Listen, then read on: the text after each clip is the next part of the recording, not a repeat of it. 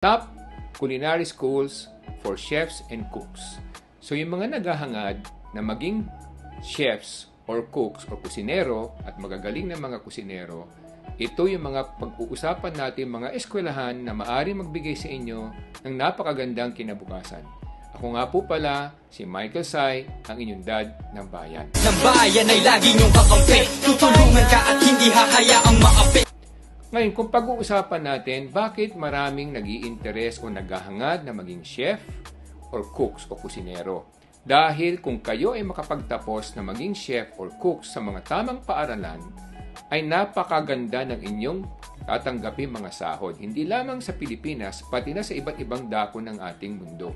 Kasi nga marami nangangailangan ng mga kusinero at mga chefs sa mga malalaking hotel at sa mga international chains na mga restaurant at hindi lang yon pati yung mga cruise ships, yung mga mamahaling cruise ships na nangangailangan ng mga chefs, cooks at mga assistant chefs. Kaya simulan natin sa number 7, sa top 7. Ang number 7 is De La Salle College of St. Benilde. Medyo mataas ang kanilang mga tuition fee pero rewarding naman dahil pag kayo nakapagtapos, napakataas ng sweldo. Ang De La Salle St. Benilde, ang kanilang tuition fee ay nagsisimula sa 180,000 pataas per year. At napakarami na rin silang sikat, mga sikat na graduate. Isa diyan ang ating kila, kinikilalang sikat na artista si Maine Mendoza, na kilala noon sa Aldab na tandem. At of course, uh, marami pang mga iba't ibang mga artista rin at mga sikat na, na mga chef katulad nila Chef Nicole Natter, si Jose Sarasola, former Pinoy uh, Fear Factor na artista. So yan yung mga sikat na graduate sa De La Salle St. Benilde. Ngayon, puntahan natin yung number 6 sa listahan ng mga sikat na mga paaralan. Ang number 6 is Lyceum of the Philippines University.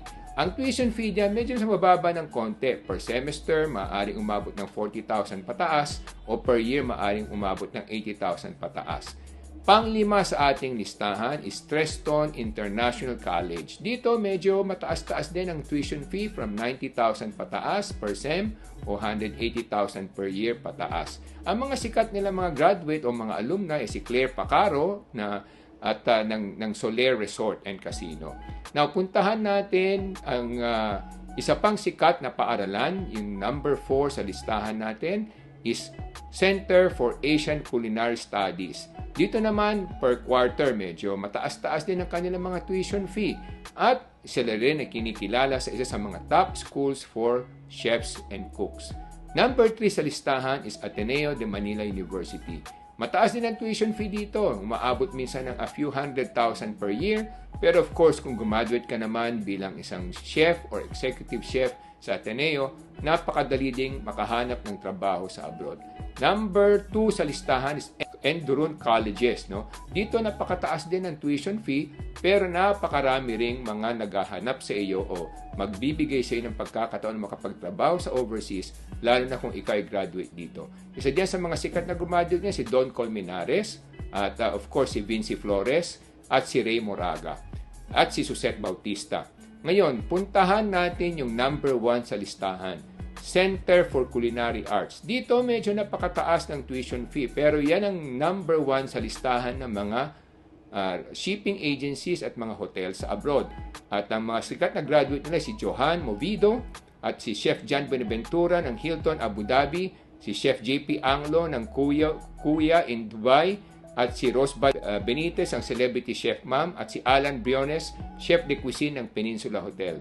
Yan ang mga sikat na chef na graduate sa Center for Culinary Arts. At marami pang ibang celebrity rin na naging graduate ng mga paaralang ito.